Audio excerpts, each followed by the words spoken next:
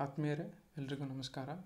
ನಾನು ಕಳೆದ ವಿಡಿಯೋನಲ್ಲಿ ನಿಮಗೆ ಕೆಮಿಕಲ್ ಈಕ್ವೇಷನ್ಸ್ ಹಾಗೂ ಮ್ಯಾಥಮೆಟಿಕಲ್ ಫಾರ್ಮುಲಾಸ್ ಲಿಬ್ರೆ ಆಫೀಸ್ ರೈಟ್ರಲ್ಲಿ ಹೇಗೆ ಹಾಕೋದು ಅನ್ನೋದ್ರ ಬಗ್ಗೆ ನಾವು ನಿಮಗೆ ಹೇಳ್ಕೊಟ್ಟಿದ್ದೆ. ಇವತ್ತಿನ ಸೆಷನ್ನಲ್ಲಿ ನಾನು ನಿಮಗೆ ಪೇಜ್ನ ಇನ್ಸರ್ಟ್ ಮಾಡೋದು ಹೇಗೆ ಮತ್ತು ಪೇಜ್ನ ಫಾರ್ಮ್ಯಾಟ್ ಮಾಡೋದು ಹೇಗೆ ಅನ್ನೋದ್ರ ಬಗ್ಗೆ ನಾನು ನಿಮಗೆ ತಿಳಿಸ್ಕೊಡ್ತೀನಿ. ಸೊ, ಸೆಷನ್ನ ನೋಡ್ತಾ ಹೋಗೋಣ ಬನ್ನಿ. ಸೆಷನ್ನಲ್ಲಿ ನಾನು ನಿಮಗೋಸ್ಕರ ಒಂದು ಫೈಲ್ನ ರೆಡಿ ಮಾಡಿ ಇಟ್ಟಿದ್ದೀನಿ ಈ ಥರ. ಇಲ್ಲಿ ನೋಡಿರ್ಬೋದು ನೀವು. ನೀವು ಕಳೆದ ಕೆಲವು ವೀಡಿಯೋಸಲ್ಲಿ ನೀವು ನೋಡಿರ್ಬೋದು. ಪೇಜಲ್ಲಿ ಕಂಟೆಂಟ್ ಎಲ್ಲ ಈ ಥರ ಎಲ್ಲ ಹಾಕಿದ್ವಿ. ಇದು ಟೆಕ್ಸ್ಟ್ ಕಂಟೆಂಟು ಬಟ್ ಈ ಥರ ಸ್ಟೈಲಿಂಗ್ ಎಲ್ಲ ನಾನೇನು ಮಾಡಿದ್ದಿಲ್ಲ. ಸೊ ಇದು ತುಂಬ ಪ್ಲೇನ್ ಅದು ತುಂಬ ಪ್ಲೇನ್ ಪೇಜ್ ಆಗಿತ್ತದು. ಈ ಪೇಜಲ್ಲಿ ನಾನು ನಿಮಗೆ ಕೆಲವು ಸ್ಟೈಲಿಂಗ್ಸ್ ಎಲ್ಲ ಮಾಡಿದ್ದೀನಿ. ಇದು ಯಾವ ರೀತಿಯಲ್ಲಿ ಮಾಡೋದು ಅನ್ನೋದ್ರ ಬಗ್ಗೆ ನಾನು ನಿಮಗೆ ಹೇಳ್ಕೊಡ್ತೀನಿ. ಕೆಲವು ಬೇಸಿಕ್ ಕಾನ್ಸೆಪ್ಟ್ಸು ಒಂದು ಡಾಕ್ಯುಮೆಂಟಲ್ಲಿ ಸೊ ಕಲಿಬೇಕಾಗಿರುವಂಥ ಅವಶ್ಯಕತೆ ಇದೆ.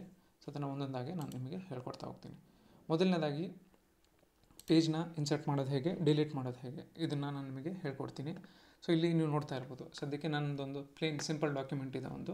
ಇದರಲ್ಲಿ ನನಗೆ ಎರಡು ಪೇಜಸ್ ಇದೆ ಇಲ್ಲಿ, ನೋಡಿ, ಒಂದು, ಎರಡು. ನಾನು ಇಲ್ಲಿ ಕೌಂಟ್ ನಿಮಗೆ ಹೇಳ್ಕೊಡ್ತೀನಿ ನಿಮಗೆ ಹೆಂಗಂತ. ಇಲ್ಲಿ ನೋಡ್ಬೋದು ನೀವು.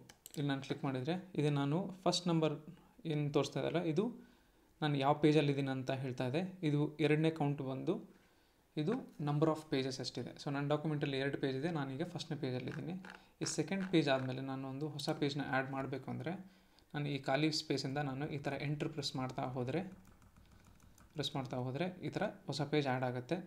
ಸೊ ಇದು ಒಂದು ರೀತಿಯಲ್ಲಿ ಮಾಡ್ಬೋದು. ಇದನ್ನು ನನಗೆ ಬೇಡ ಅಂದರೆ ಬ್ಯಾಕ್ ಸ್ಪೇಸ್ ಬಟನ್ನ ಪ್ರೆಸ್ ಮಾಡಿದರೆ ಈ ಥರ ಡಿಲೀಟ್ ಆಗುತ್ತೆ. ಡಿಲೀಟ್ ಆಗ್ತಾ ಹೋಗುತ್ತೆ.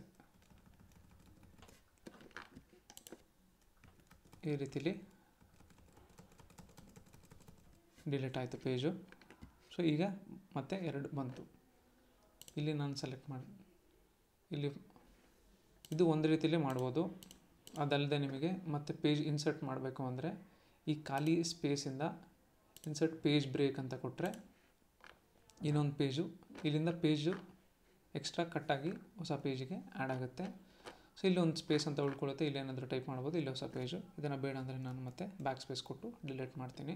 ಇದು ಪೇಜ್ ಇನ್ಸರ್ಷನ್ ಮತ್ತು ಪೇಜ್ ಡಿಲೀಷನ್ ಸೊ ಅದಲ್ಲದೆ ನಿಮಗೆ ಇಲ್ಲಿ ನೋ, ಇಲ್ಲಿ ನೋಡಿರ್ಬೋದು ನಿಮಗೆ. ಇಲ್ಲಿ ಬಾರ್ಡರ್ಸ್ ಇದೆ. ಮತ್ತು ಇಲ್ಲಿ ಮೇಲ್ ನಾನು ಇಂಡಿಯಾ ಲಿಟ್ರಸಿ ಪ್ರಾಜೆಕ್ಟ್ ಅಂತ ಟೈಪ್ ಮಾಡಿದ್ದೀನಿ. ಸೊ ಇದನ್ನು ಹೆಡರ್ ಅಂತ ಹೇಳ್ತಾರೆ. ಇಂಡಿಯಾ ಲಿಟ್ರಸಿ ಪ್ರಾಜೆಕ್ಟ್ ಅಂತ ನಾನು ಬರ್ದ, ಬರ್ದಿರೋದು. ಇಲ್ಲಿ ಕೆಳಗಡೆ ಪೇಜ್ ನಂಬರ್ ಅಂತ ಇದೆಯಲ್ಲ, ಇದನ್ನು ಫೂಟರ್ ಅಂತ ಹೇಳ್ತಾರೆ. ಇದನ್ನು ಯಾವ ರೀತಿಯಲ್ಲಿ ಹಾಕೋದು ಅನ್ನೋದ್ರ ಬಗ್ಗೆ ನಾನು ನಿಮಗೆ ತಿಳಿಸ್ಕೊಡ್ತೀನಿ. ಮೊದಲನೇದಾಗಿ ಈ ಬಾರ್ಡರ್ ಯಾವ ರೀತಿಯಲ್ಲಿ ಹಾಕೋದು ಅನ್ನೋದ್ರ ಬಗ್ಗೆ ನಾನು ನಿಮಗೆ ತೋರಿಸ್ಕೊಡ್ತೀನಿ. ಸೊ ಫಸ್ಟ್ ಇಲ್ಲಿ ಇದೆ ಅಲ್ವಾ? ಸೊ ನನ್ನ ಡಾಕ್ಯುಮೆಂಟಲ್ಲಿ ಇಷ್ಟಿದೆ. ಸೊ ಬಾರ್ಡರ್ ಹಾಕಬೇಕಂದ್ರೆ ಸೊ ಈ ಫಾರ್ಮ್ಯಾಟ್ ಸೆಕ್ಷನ್ ಇದೆಯಲ್ಲ ಫಾರ್ಮ್ಯಾಟ್ ಸೆಕ್ಷನಲ್ಲಿ ಹೋಗಿ ಪೇಜ್ ರಿಲೇಟೆಡ್ ಏನೇ ಆಪ್ರೇಷನ್ಸ್ ಅಂತ ಮಾಡಬೇಕಂದ್ರೂ ನಿಮಗೆ ಇಲ್ಲಿ ಪೇಜ್ ಅಂತ ಇದೆ ಅಲ್ವಾ? ಫಾರ್ಮ್ಯಾಟ್ ಸೆಕ್ಷನಲ್ಲಿ ಹೋಗಿ ಪೇಜ್ ಅಂತ ಕ್ಲಿಕ್ ಮಾಡಿದರೆ ಈ ಥರ ಓಪನ್ ಆಗುತ್ತೆ. ನಿಮಗೆ ಸಾಕಷ್ಟು ಆಪ್ಷನ್ಸ್ ಇದೆ ಇಲ್ಲಿ. Organiser page area transparency header footer borders columns ಎಲ್ಲ. ನಾವು ಈ ಒಂದೇ ವಿಂಡೋನಲ್ಲಿ ಎಲ್ಲ ಚೇಂಜಸ್ ನಾವನ್ನು ಮಾಡ್ಬೋದು. ನಾವು ಮೊದಲನೇದಾಗಿ ನಾನು ನಿಮಗೆ ಫಸ್ಟು ಬಾರ್ಡರ್ಸ್ನ ಹಾಕೋದು ಹೆಂಗೆ ಅಂತ ಹೇಳ್ತೀನಿ. ಅದಕ್ಕಿಂತ ಮುಂಚೆ ನಾನು ನಿಮಗೆ ಪೇಜ್ ಸೊ ಪೇಜ್ ಮಾರ್ಜಿನ್ಸ್ ಬೇಕಲ್ವಾ? ಸೊ ಮಾರ್ಜಿನ್ಸ್ ಅಂದರೆ ಇದು. ನಮಗೆ ಇಲ್ಲಿದೆಲ್ಲ ಈಗ ಏನು ಕಾಣಿಸ್ತಾ ಇದೆ? ನಿಮಗೆ ರೆಫರೆನ್ಸ್ ಕಾಣಿಸ್ಬೇಕು ಅಂದರೆ ನೋಡಿ, ಇದು ಮಾರ್ಜಿನ್ನು ಇದು ಮಾರ್ಜಿನ್ನು ಇದು ಮಾರ್ಜಿನ್ನು ಈ ಮಾರ್ಜಿನ್ ಸ್ಪೇಸ್ನ ನಾನು ಕೊಡಬೇಕು ಅಂದರೆ ನಾನು ಮತ್ತೆ ಇಲ್ಲಿ ಹೋಗ್ತೀನಿ. ಪೇಜ್ ಪೇಜ್ ಮಾರ್ಜಿನ್ನು ನಾನು ಇಲ್ಲಿ ಒನ್ ಅಂತ ಕೊಟ್ಟಿದ್ದೀನಿ. ಒನ್ ಅಂತ ಕೊಟ್ಟರೆ ಒನ್ ಒನ್ ಸೆಟ್ ಆಯಿತು. ಒನ್ ಅಂತ ಕೊಟ್ಟಿದ್ದೀನಿ. ಈಗ ಮತ್ತೆ ಬಾರ್ಡರ್ಸ್ ಕೊಟ್ಟಿದ್ದೀನಿ. ಬಾರ್ಡ್ರಲ್ಲಿ ಡಿಫಾಲ್ಟು ಇಷ್ಟಿರುತ್ತೆ. ನನಗೆ ಇಷ್ಟು ಬೇಡ ಅಂದರೆ ಪಾಯಿಂಟ್ ಫೋರ್ ಅಂತ ಕೊಡ್ತೀನಿ ನಾನು. ಎಲ್ಲ ಪಾಯಿಂಟ್ ಫೋರ್ ಅಂತ ಕೊಟ್ಟೆ ನೋಡಿ. ಇದು ಬಾರ್ಡರ್ಸು ಅದು ಮಾರ್ಜಿನ್ ಇದು ಬಾರ್ಡರ್ಸು ಇದನ್ನು ಬಿಡ್ತು ಸ್ವಲ್ಪ ಥಿಕ್ನೆಸ್ ಜಾಸ್ತಿ ಮಾಡಬೇಕು ಅಂದರೆ ನಾನು ಪಾಯಿಂಟ್ ಟು ಫೈವ್ ಅಂತ ಕೊಡ್ತೀನಿ ನಾನು. ಇಲ್ಲಿ ನನಗೆ ಲೇಔಟ್ ನೋಡ್ಬೋದು. ಪ್ರಿವ್ಯೂ ಕಾಣಿಸುತ್ತೆ ನಿಮಗೆ ಈ ಥರ ನೀಟಾಗಿ ಇದನ್ನು ನಾನು ಓಕೆ ಅಂತ ಕೊಟ್ಟರೆ ನೋಡಿ, ಈ ರೀತಿಲಿ ಸೆಟ್ ಆಯಿತು. ಈ ಥಿಕ್ನೆಸ್ ಇನ್ನೂ ನಾನು ಜಾಸ್ತಿ ಮಾಡಬೇಕು ಅಂದರೆ ಇನ್ನೂ ಸ್ವಲ್ಪ ಕೊಡ್ತೀನಿ. ನೋಡಿದರೆ? ಇನ್ನೂ ಸ್ವಲ್ಪ ಜಾಸ್ತಿನೇ ಮಾಡೋಣ. ನೋಡಿದ್ರೆ? ದಪ್. ಸ್ವಲ್ಪ ಥಿಕ್ನೆಸ್ ಜಾಸ್ತಿ ಆಯ್ತಲ್ವಾ ಎಲ್ಲ ಕಡೆ? ಸೊ ಆ ರೀತಿಲಿ ನಿಮಗೆ ಬಾರ್ಡ್ರಸ್ನ ಹಾಕ್ಬೋದು. ಅದಲ್ಲದೆ ನಿಮಗೆ ಇಲ್ಲಿ ನೋಡಿದ್ರಲ್ವಾ? ಸೊ ಮತ್ತೆ ಇನ್ನೇನೇನಿದೆ ಇಲ್ಲಿ ನಮಗೆ? ಇಲ್ಲಿ, ಈ ಹೆಡರು ಮತ್ತು ಫೂಟರ್ ಯಾವ ರೀತಿಲಿ ಹಾಕಬೇಕು ಅನ್ನೋದನ್ನು ನಾನು ನಿಮಗೆ ತೋರಿಸ್ಕೊಡ್ತೀನಿ. ಈಗ ನಾನು ಇಲ್ಲಿ ಸೆಲೆಕ್ಟ್ ಮಾಡ್ತೀನಿ. ಹೆಡರ್ ಸೆಕ್ಷನ್ ಇಲ್ಲಿರುತ್ತೆ. ಇಲ್ಲೊಂದು ಸ್ಕ್ವೇರ್ ಈ ಥರ ಸಿಂಬಲ್ ಕಾಣಿಸ್ತಿದೆಯಲ್ಲ ಇದನ್ನು ಕ್ಲಿಕ್ ಮಾಡಿದೆ ನಾನು ನಿಮಗೆ. ಇಲ್ಲಿ ಆ್ಯಡ್ ಹೆಡರ್ ಅಂತ ಕೊಡ್ತೀನಿ. ನಾನಿಲ್ಲಿ ಇಂಡಿಯಾ ಲಿಟ್ರಸಿ ಪ್ರಾಜೆಕ್ಟ್ ಅಂತ ನಾನು ಕೊಡ್ತೀನಿ ಇಲ್ಲಿ. ಸೊ ಇದನ್ನು ನಾನು ಬೇಕಂದರೆ ಸೆಂಟ್ರಲ್ ಅಲೈನ್ಮೆಂಟು ಇಲ್ಲ ರೈಟ್ ಅಲೈನ್ಮೆಂಟ್ ಮಾಡ್ಕೋಬೋದು. ಇದನ್ನು ಕ್ಲಿಕ್ ಮಾಡ್ತೀನಿ. ಈ ಇಂಡಿಯಾ ಲಿಟ್ರಸಿ ಪ್ರಾಜೆಕ್ಟ್ ಹೆಡರ್ ಅನ್ನೋದು ಈ ಒಂದೇ ಪೇಜಲ್ಲಿ ಬಂದಿದೆಯಾ ಅಥವಾ ಎರಡನೇ ಪೇಜಲ್ಲೂ ಬಂದಿದೆಯಾ ಅನ್ನೋದ್ರ ಬಗ್ಗೆ ನಾವು ಚೆಕ್ ಮಾಡೋಣ. ನೋಡಿ, ಇಲ್ಲಿ ಗಮನಿಸ್ಬೋದು, ಇಲ್ಲಿ ಬಂದಿದೆ. ಸೊ ಈಗ ಫೂಟರ್ನ ಆ್ಯಡ್ ಮಾಡೋಣ. ಫೂಟರ್ನ ಆ್ಯಡ್ ಮಾಡಬೇಕಂದ್ರೆ ನೋಡಿ ಫೂಟರ್ ಡಿಫಾಲ್ಟು ಇಲ್ಲಿ ಫೂಟರ್ ಪೇಜ್ ನಂಬರ್ ಅಂತ ಕೊಡ್ತೀನಿ. ಪೇಜ್ ನಂಬರ್ ಇಲ್ಲಿ ಸದ್ಯಕ್ಕೆ ನಾನು ಒನ್ ಅಂತ ಕೊಡ್ತೀನಿ. ಇವಾಗ ಮತ್ತೆ ಫಾರ್ಮ್ಯಾಟಿಗೆ ಹೋಗಿ ನಾನು ನಿಮಗೆ ಇನ್ಸರ್ಟಲ್ಲಿ ಹೋಗಿ ಪೇಜ್ ನಂಬರ್ ಅಂತ ಕೊಟ್ಟೆ ಅಂದರೆ ಒನ್ ಅಂತ ಬಂತು. ಸೊ ಇದು ನಾನು ಫಸ್ಟ್ ಪೇಜಲ್ಲಿದ್ದೀನಿ ಪೇಜ್ ನಂಬರ್ ಒನ್ ಅಂತ ಬಂದಿದೆ.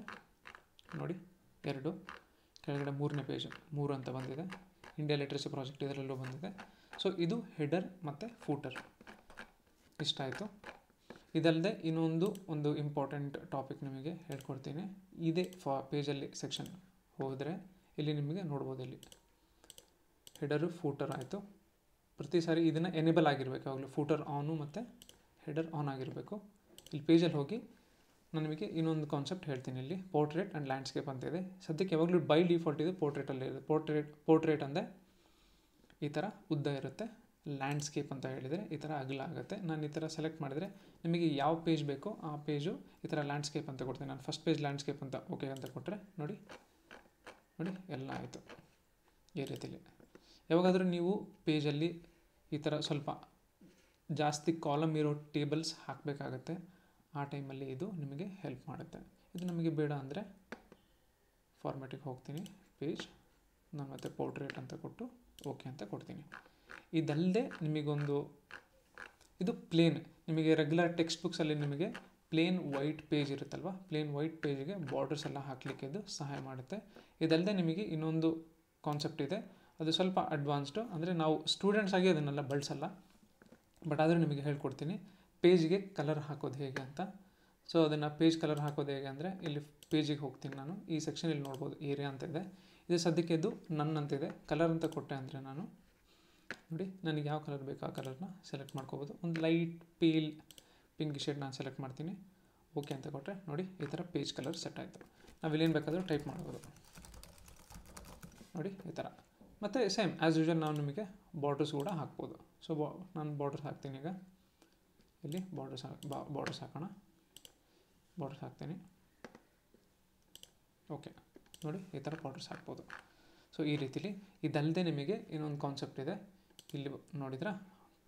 ಇಲ್ಲಿ ಫಾರ್ಮೇಟಲ್ಲಿ ವಾಟರ್ ಮಾರ್ಕ್ ಅಂತಿದೆ. ವಾಟರ್ ಮಾರ್ಕ್ ಯಾವಾಗ ಆಗುತ್ತೆ ಅಂದರೆ ಹೇಗೆ ಇಲ್ಲಿ ಟೆಕ್ಸ್ಟ್ ಅಂತ ಕೊಡ್ತೀನಿ, ನಾನು ನನ್ನ ಹೆಸರನ್ನು ಕೊಡ್ತೀನಿ ಇಲ್ಲಿ. ಸೊ ಫಾಂಟ್ ಸ್ಟೈಲು ಇಷ್ಟು ಟ್ರಾನ್ಸ್ಪರೆನ್ಸಿ ಎಷ್ಟಿರಬೇಕು ಅಂತ ಅದು ಹೇಳುತ್ತೆ. ಇನ್ನೂ ಕಡಿಮೆ ಮಾಡಿದರೆ ನಾನು ಓಕೆ ಅಂತ ಕೊಡ್ತೀನಿ. ಈಗ ಜಸ್ಟ್ ಗಮನಿಸಿ ಪೇಜ್ ಮೇಲೆ ವಾಟರ್ ಮಾರ್ಕ್ ಅಂದರೆ ಯಾವ ಥರ ಬರುತ್ತೆ ಅಂತ ನೀವು ಗಮನಿಸಿ ಗಮನಿಸಿದರೆ ಇಲ್ಲಿ ಎಸ್ ಎಚ್ ಆರ್ ಎನ್ ಅಂತ. ಸೊ ಕೆಲವು ಡಾಕ್ಯುಮೆಂಟ್ಸಲ್ಲಿ ನೀವು ನೋಡಿರ್ಬೋದು ಕಾನ್ಫಿಡೆನ್ಷಿಯಲ್ ಅಂತ ಈ ಥರ ಬರೆದಿರುತ್ತೆ. ಸ್ಲ್ಯಾ ಈಗ ಇಲ್ಲಿ ಸ್ಲ್ಯಾಂಟಲ್ಲಿದೆ ಸೊ ಈ ರೀತಿಯಲ್ಲಿ ಇದನ್ನು ವಾಟರ್ ಮಾರ್ಕ್ನ ನಿಮಗೆ ಅವಶ್ಯಕತೆ ಇದ್ದಲ್ಲಿ ಬಳಸ್ಬೋದು. ನಾವು ಜನ್ರಲ್ಲಾಗಿ ಸ್ಟೂಡೆಂಟ್ಸಿಗೆ ಮತ್ತು ಟೀಚರ್ಸಿಗೆ ಅಥವಾ ರೆಗ್ಯುಲರ್ ಟೆಕ್ಸ್ಟ್ ಬುಕ್ಸಲ್ಲಿ ಈ ಥರ ಕಲರ್ಸ್ ಎಲ್ಲ ಜಾಸ್ತಿ ಬಳಸಲ್ಲ.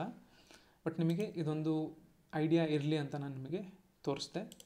ಇದಲ್ಲದೆ ನಿಮಗೆ ಪೇಜ್ ಸ್ಟೈಲಿಂಗಲ್ಲಿ ಇಷ್ಟು ತಿಳ್ಕೊಂಡಿದ್ರೆ ಸಾಕು. ಬೇಸಿಕ್ಕಾಗಿ ಲೇಔಟ್ ನಿಮಗೆ ಗೊತ್ತಿರಬೇಕು. ಪೇಜ್ ನಾವು ಡಿಫಾಲ್ಟಾಗಿ ಇನ್ನೊಂದು ಏನಂದರೆ ಪ್ರತಿಯೊಂದು ನಾವು ಬಳಸೋ ಪೇಜ್ ಲೇಔಟ್ ಬಂದು ಇಲ್ಲಿ ಎ ಫೋರ್ ಅಂತಿದೆ. ಸೊ ಯಾವಾಗಲೂ ಎ ಫೋರ್ ಸೈಜಲ್ಲೇ ಇರುತ್ತೆ. ಇದು ಪ್ರಿಂಟ್ ಲೇಔಟು ಎ ತ್ರೀ ಅಂದರೆ ಎ ಫೋರ್ಗಿಂತ ಸ್ವಲ್ಪ ದೊಡ್ಡದಾಗಿರುತ್ತೆ.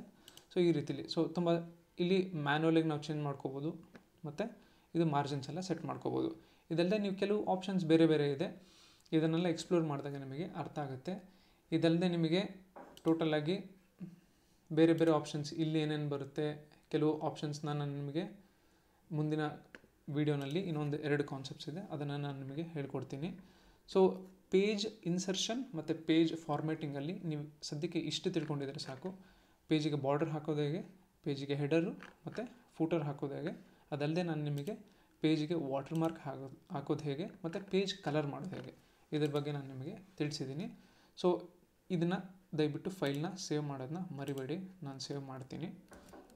ಸೊ ಇವತ್ತಿನ ಸೆಷನ್ನಲ್ಲಿ ಪೇಜನ್ನ ಪೇಜ್ ಬಗ್ಗೆ ನಾವು ತಿಳ್ಕೊಂಡಿದ್ವಿ. ಪೇಜ್ನ, ಪೇಜ್ ಫಾರ್ಮ್ಯಾಟ್ ಮಾಡೋದ್ರ ಬಗ್ಗೆ ನಾವು ತಿಳ್ಕೊಂಡಿದ್ವಿ. ಸೊ ನಾವು ಮುಂದಿನ ಸೆಷನಲ್ಲಿ ಮುಖ್ಯವಾಗಿ ಹೆಲ್ಪ್ನ ಯೂಸ್ ಮಾಡೋದು. ನಾನು ನಿಮಗೆ ತೋರಿಸ್ತೀನಿ ಇಲ್ಲಿ. ಇಲ್ಲಿ ಒಂದು ಡಾಕ್ಯುಮೆಂಟಲ್ಲಿ ತೋರಿಸ್ತೀನಿ ರೀ ಇದೆ ಅಲ್ವಾ ಇಲ್ಲಿ? ಹೆಲ್ಪ್ ಹೆಲ್ಪ್ ಯೂಸ್ ಮಾಡಿಕೊಂಡು ನಾವು ಯಾವ ರೀತಿಯಲ್ಲಿ ಬಳಸ್ಬೋದು ಅನ್ನೋದ್ರ ಬಗ್ಗೆ. ಇದೊಂಥರ ಗೂಗಲ್ ಥರನೇ ಸೊ ಇದನ್ನು ಯಾವ ರೀತಿಯಲ್ಲಿ ಬಳಸ್ಕೊಂಡು ನಿಮಗೇನಾದರೂ ಒಂದು ಕಾನ್ಸೆಪ್ಟ್ ಅರ್ಥ ಆಗಿಲ್ಲ. ಸೊ ಟೇಬಲ್ ಇನ್ಸರ್ಟ್ ಮಾಡೋದು ಹೆಂಗಂತ ನಿಮ್ಗೆ ಗೊತ್ತಿಲ್ಲ.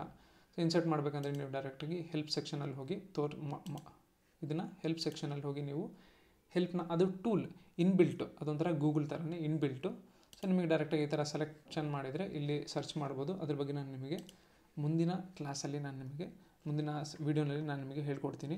ಇದಲ್ಲದೆ ನಿಮಗೆ ಏನಾದರೂ ಡೌಟ್ಸ್ ಇದ್ದಲ್ಲಿ ನಿಮ್ಮ ಕಮೆಂಟ್ಸ್ ಮೂಲಕ ನಮಗೆ ತಿಳಿಸಿ, ನಾವು ಖಂಡಿತ ಆ ಕಾನ್ಸೆಪ್ಟ್ಸ್ನ ನೆಕ್ಸ್ಟ್ ವೀಡಿಯೋನಲ್ಲಿ ನಾವು ಕವರ್ ಮಾಡ್ತೀವಿ. ಅಲ್ಲಿವರೆಗೂ ಕಲಿತಾ ಇರ್ರಿ. ಪ್ರಾಕ್ಟೀಸ್ ಇರಿ. Thank you so much